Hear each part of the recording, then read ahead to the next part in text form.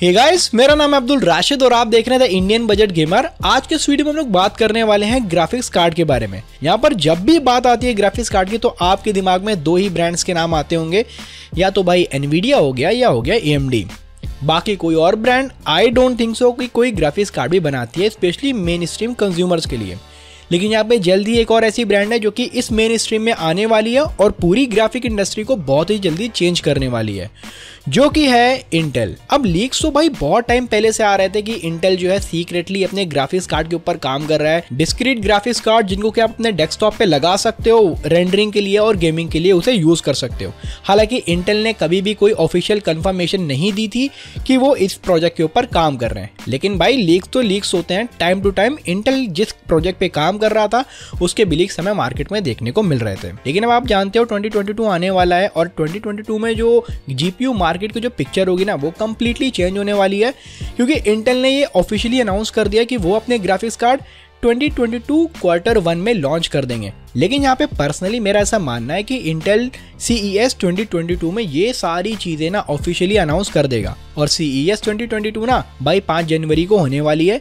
जो कि शायद ही दस पंद्रह दिन बाद हो जाएगी। मैं मानता हूँ यहाँ पे कि एनवीडिया और एम भी अपने नए graphics card C E S में लॉन्च कर देंगे। एनवीडिया यहाँ पर अपने आर टी सीरीज़ पे काम कर रहा है। वही एम अपने कोई जेन थ्री पता नहीं भाई, उनका अलग ही सीन चल रहा है, वो उन पर काम कर रहे हैं। लेकिन मेरी एक्सपेक्टेशन जो इंटेल्स है ना, वो काफ़ी कम है, क्योंकि भैया इनका पहला डिस्क्रीट ग्राफिक्स कार्ड कंज्यूमर के लिए लॉन्च होने वाला है। तो भाई परफॉर्मेंस हो सकता हो, बिल्कुल फ्लैगशिप लेवल का तो ना हो।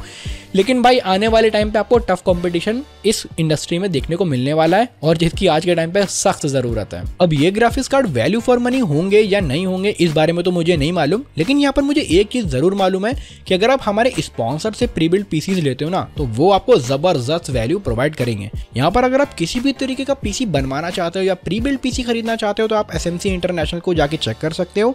इनकी वेबसाइट पे आपको लिटरली हर रेंज के पीसी देखने को मिल जाते हैं। आप चाहे यहाँ पर आपको बीस हज़ार रुपए का पीसी लेना हो या दो लाख रुपए का पीसी लेना हो। आपको यहाँ पर लाइट गेमिंग करनी हो या वर्क स्टेशन के लिए पीसी चाहिए हो, हर टाइप का पीसी देखने को मिल जाता है। इन केस अगर आप वहीं थोड़ा बहुत उसे कस्टमाइज करना चाहते हो प्रोसेसर अलग लगाना चाहते हो या ग्राफिक्स कार्ड अलग लगाना चाहते हो तो ये ऑप्शन भी यहाँ पर आपको देखने को मिल जाता है। वीडियो के डिस्क्रिप्शन में आपको SMC इंटरनेशनल की वेबसाइट का लिंक देखने को मिल जाएगा और एक मेरा कूपन कोड भी देखने को मिल जाएगा, जिसको कि अगर आप चेकआउट के टाइम यूज़ करते हो तो आप अच्छा खासा डिस्काउंट भी अवेल कर सकते हो। तो यार मेरा कूपन कोड आप ज़रूर यूज़ करना। वीडियो के डिस्क्रिप्शन में आपको सारी चीज़ें देखने को मिल जाएँगी। अब यहाँ पे बात आती है कि भाई कौन कौन से ग्राफिक्स कार्ड लॉन्च होंगे, उनकी प्राइस क्या होने वाली है और उनका परफॉर्मेंस क्या होगा, आपको कितनी एक्सपेक्टेशन रखनी चाहिए, अब इसके बारे में बात करते हैं। देखो यार, यहाँ पे ना कुछ टाइम पहले की बात है इंटेल ने अपनी ऑफिशियल वेबसाइट पे ग्राफिक्स ड्राइवर्स को गलती से अपलोड कर दिया था, जिसकी वजह से आने वाले ग्राफिक्स कार्ड के मॉडल नंबर लीक हो गए। और लीक्स के हिसाब से मैं आपको बताऊँ ना as of now Intel six graphics card पे काम कर रहा है। ये चीज़ मुझे मालूम नहीं है कि भाई हाई एंड वाला कौन सा है और बजट सेगमेंट वाला कौन सा है। इतना मालूम है कि सिक्स ग्राफिक्स कार्ड पे वो काम कर रहे हैं। और ये चीज़ लीक स्पेक शीट देख के और भी कंफर्म हो जाती है। लीक स्पेक शीट के हिसाब से अगर मैं आपको बताऊँ ना तो एक ग्राफिक्स कार्ड फोर जीबी का लीक हुआ है, एक सिक्स जीबी का लीक हुआ है, एक एट जीबी का लीक हुआ है, एक ट्वेल्व जीबी का और एक सिक्सटीन जीबी का। बाकी लास्ट वाले की वी रैम लीक नहीं हुई है तो टोटल फाइव जी लीक ही हुए हैं अभी आज के डेट पे। और बेस्ट चीज़ ये है कि इंटेल के जितने भी ग्राफिक्स कार्ड होंगे ना, वो आपको रेट रेसिंग का सपोर्ट प्रोवाइड करेंगे, चाहे सिक्स जी वाला हो या सिक्सटीन जी वाला हो। तो भाई रेट रेसिंग का सपोर्ट अगर प्रोवाइड कर रहे हैं तो यहाँ पर मेरी एक्सपेक्टेशन तो इतनी तो है कि ये ग्राफिक्स कार्ड आपको मिनिमम टेन के अच्छे फ्रेम रेट पर गेमिंग करवा देंगे। और बात आती है अगर परफॉर्मेंस की, यहाँ पर भाई एक गेम का परफॉर्मेंस भी लीक हुआ है। यहाँ पर एशत ऑफ़ सिंगुलैरिटी नाम का एक गेम है जो कि बहुत बहुत बहुत ज़्यादा डिमांडिंग है।